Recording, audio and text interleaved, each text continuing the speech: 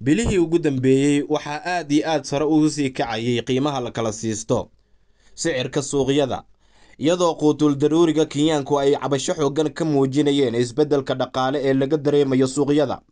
Maadaama wax walba halkii lagu ogaa ay ka kaceen oo ay kenyaanku intooda badan yihiin kuwa shaqo la'aana kuwa shaqada haystana inta soo gashaa aysan ku filnayn maalinkii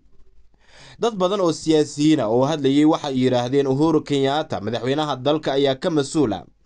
Xaaladda maciishadda ee cirka isku sii shareeraysa marba marka ka dambeysa hase haatee arrintan waxaa markii ugu horeysay warbaahinta kala hadlay afhayeenka dowladda cyrus uguna waxaa xilli uu la hadlayey radio citizen uu shaaca ka qaaday in sare u kaca maciishadda guud ahaanba dalka wax lug ah uusan ku lahayn madaxweynaha dalka uhuru kenyaata islamarkaana arrintan ay tahay mid guud ahaanba caalamka ka jirta oo tan iyo markii uu qarxay dagaalka u dhexeeya ruushka iyo ukrein aad iyo aad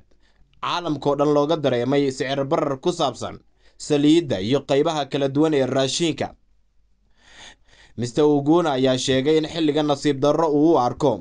in dad ay ololahooda doorashada ku soo daraan. Madaxweyne uhuru ayaa arrintan u sabab ah haddii aadna doorataan qiimo jaban ayaan ka dhigi doonnaa sicirka raashiinka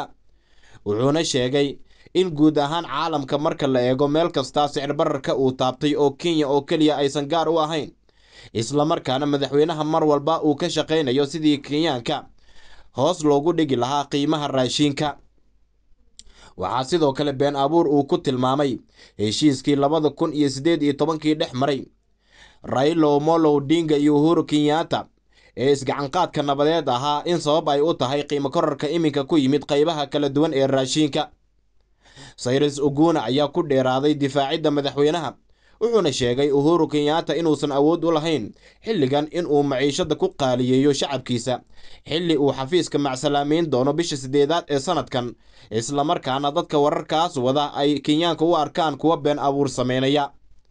meelo badan oo dunida ka mid ah ayaa cabasho xoogan ay ka taagan tahay kadib markii loo arkay in dagaalka u dhexeeya ruushka iyo ukrein